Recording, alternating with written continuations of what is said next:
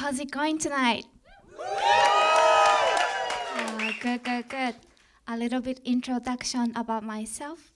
My name is Yumi, like you and me. And last night I had a dream of getting spanked by Mel Gibson. nice to meet you.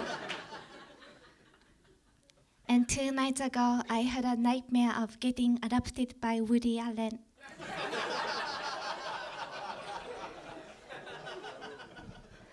nice to meet you. and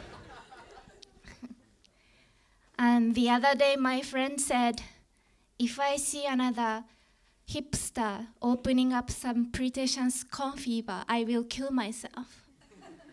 so I said, Cool, when's your funeral? Because I love hipsters. They reject anything they deem to be too popular.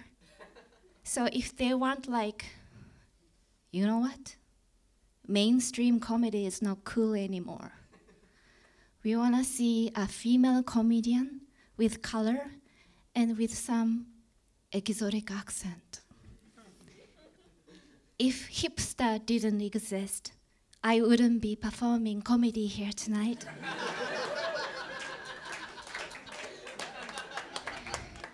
because I would be too discouraged by the amount of redneck people trying to say hello to me in Chinese.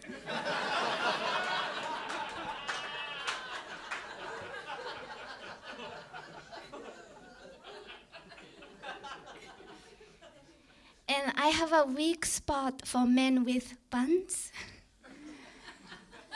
because I am samurai descent.